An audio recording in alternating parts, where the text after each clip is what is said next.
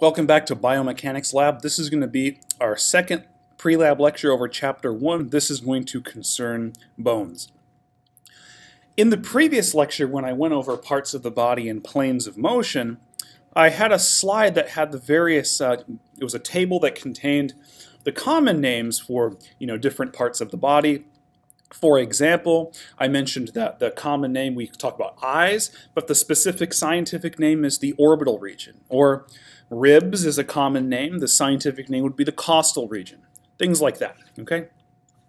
Um, we also have a, a, picture like this that has a lot of the really important bones.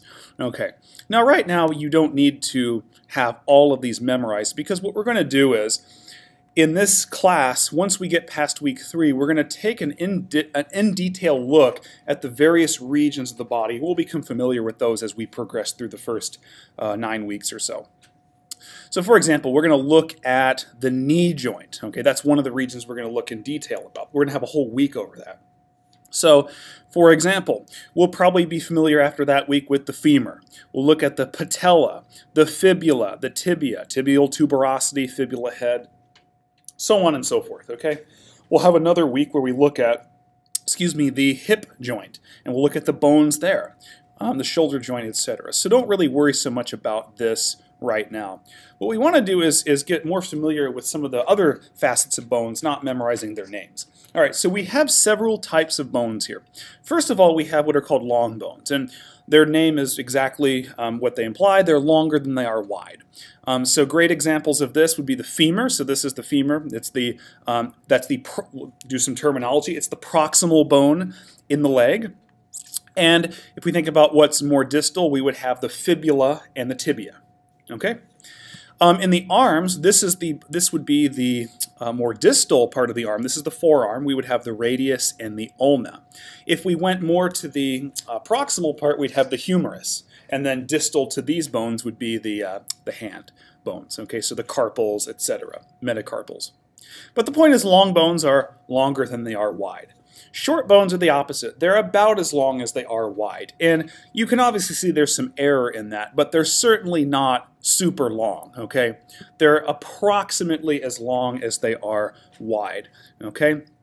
That doesn't mean it's perfect.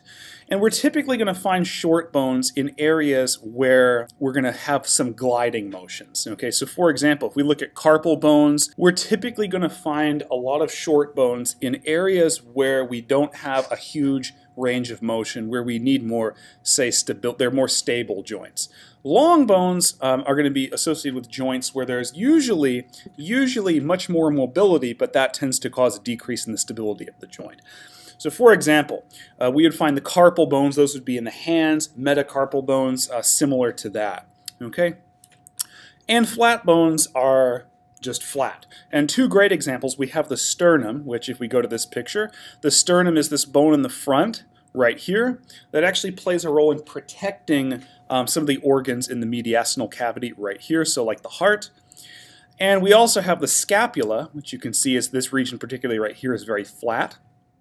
Scapula is on the back side. There's a left and right scapula.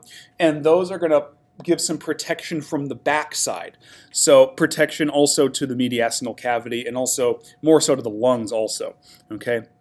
And the flat bones, a lot of what they're going to do is provide protection. So when we're looking at long bones, they're going to be more associated with large movements. Short bones help with movements, but they're less movement, but more stability. Flat bones are going to have a protective measure, okay? Now, irregular bones, um, we have this concept in, in physiology that the structure of something dictates or provides its function. There's this no, uh, no exception here. Irregular bones really have no shape that really fits in with any of these other groups. However, the structure of the bone uh, plays a role in its function. So for example, an irregular bone would be the vertebral bones.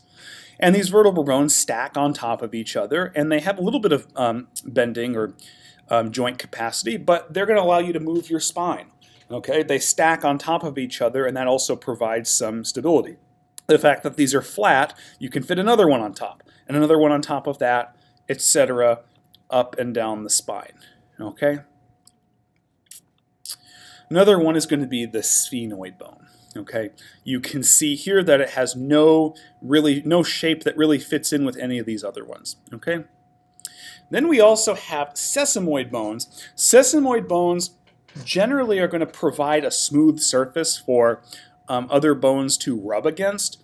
So for example, this is the patella right here. You can see that Here's the anterior view. So that's when, when a doctor hits you on the knee with a hammer. They're more or less hitting the anterior side. And the posterior patella is going to have these pockets in here which are going to provide some insertion points for the other bones of the leg that are going to allow them to sort of glide over the patella um, without um, having a lot of friction because there's a lot of um, protective uh, layers here such as articular cartilage and other fluids.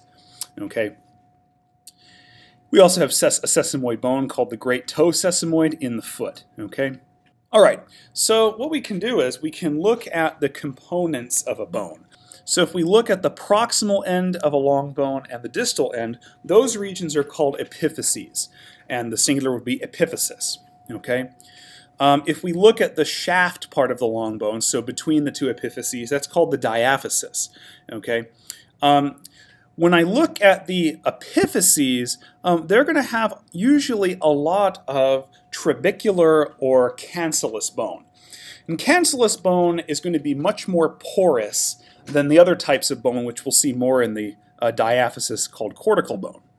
But cancellous bone slash trabecular bone, those are the same things. Um, they have they they're the kind of bones that have these little pores or holes. They're not as dense with bone material. And like I said, you're going to find those more in the epiphyses of the bone. In the diaphysis, where you need much more resilience, you have cortical bone, which is much, much more dense, but much less porous than a cancellous bone that is in the epiphyses. And also in the diaphysis, we have a medullary cavity. And that medullary cavity has blood vessels in it that provide nutrients to the various parts of the bone. Remember that bone cells are not metabolically inactive as they might be portrayed to be. Okay? And if we also kind of think about the layers of the bone, we also have the endosteum. The endosteum is the layer that coats the inside of the bone facing the medullary cavity, and then the periosteum is the outside, sort of a wrapping around the bone itself. Okay, we also have yellow marrow, and we also have we're also going to have red bone marrow. The red bone marrow is going to be more in this area right here, and the red bone marrow is going to be the site of blood cell synthesis. Okay, so when somebody gets a bone marrow transplant, they actually have to drill out, or I should say, drill into the bone, and that's why a bone marrow transplant hurts so much. They actually have to get in here to get the red bone marrow out. Okay. And this is an x-ray of, of this person. It looks like their left hand. Okay, you can see the diaphysis right here. You can also see the epiphysis of this bone. It's right here. And then there's an epiphyseal plate. Okay, the epiphyseal plate we're going to look at on the next couple of slides. Now, we have this concept that bones grow in length. And they grow in length up to a certain point. Usually we call that puberty. Um, when puberty ends, um, they're as long as they're going to get usually, okay? Because as we know when we're a baby, our arms and legs are pretty short, right? And then they grow in length, obviously, to our adult forms. Well, the way that they're going to grow in their, to our ad adult lengths is we have something called an epiphyseal plate. This is either called the growth plate or sometimes the full name is epiphyseal growth plate. And it's made of cartilage specifically hyaline cartilage. And this hyaline cartilage, up until the end of puberty, this cartilage continues to replenish itself. So we have more and more cartilage there. But what happens is, is over the course of growth, from a baby up until the end of puberty, we have some of that cartilage is turned into bone. But if we have continuously regenerating cartilage, and some of that cartilage is turned into bone, the bone's going to grow in length because we're adding more and more bone. Now, eventually, we're going to get to a point, which it turns out to be around the time of end of puberty, when um, we have signals from other um, hormones such as testosterones and estrogens. Uh, the cartilage is going to solidify all into bone, and at that point, we say that there are remnants of the epiphyseal plates, or we say that the plates have sealed. So if, if you were asked what was what structure in the long bone is responsible for its growth in length, you would say the epiphyseal growth plate. Okay, and just keep in mind the center of the bone, which initially isn't there, we start getting hollowed out and it becomes a medullary cavity with blood vessels. It's rich in blood vessels to provide nutrients to all the cells of the bone. Okay? And this is just another uh, look at this. We can have growth in diameter of the bone. That's more responsible for, I mean, we do have growth in in the diameter as we get older, um, as we get bigger and bigger to our adult size. But also, when we have growth in diameter, that can be due to injuries to the bone. For example, if I fracture a bone, growth in diameter is going to be the type that heals it. Okay. Growth in length really doesn't do anything like that. It just increases the length of our bones and it goes up until approximately the end of puberty. Okay? Um, also, take note of this. The bone, this is the cancellous bone or trabecular bone. You can see very well in this picture that's very porous, not as dense. Then if you go down the diaphysis, this is the cortical bone. It's more dense, but less porous. And here you can see the epiphyseal line right here. Okay. Also, on the ends of long bones, at the epiphyses, we have a layer of hyaline cartilage called articular cartilage. And its function is to provide some uh, a surface that bones can rub up against each other on that won't cause pain. Because if we had the, just the two plain ends of the bones rubbing against each other, that would hurt a lot because there'd be a lot of friction. Having this articular cartilage there prevents that friction from uh, being created. In fact, there's a disease state where you have degeneration of this articular cartilage. It's called osteoarthritis. And in osteoarthritis, by some metric, the articular cartilage has, has been degenerated, and so you have bones rubbing against bones. And if that happens in the hip, say, um, then you would probably have a hip replacement, and you can have the same thing in the knee. All right, so hopefully you got something out of this lecture, and um, we will go to joints in the next lecture. Thank you.